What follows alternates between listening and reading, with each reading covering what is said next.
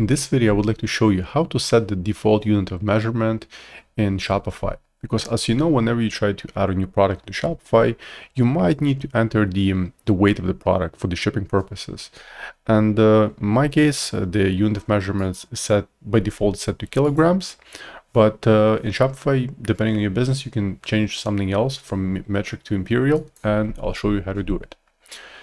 Uh, so go to your admin panel, then click on settings, and then click on store details and scroll all the way down to the section where it says standards and formats. And here you'll see a setting for unit of uh, unit system. Currently on my my end it's metric, but we can change it to imperial for the example purposes. And for default weight unit, uh, you can choose between pound and ounce.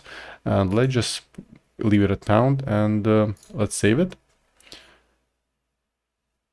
And once it goes through, let's go to products and click on add a product.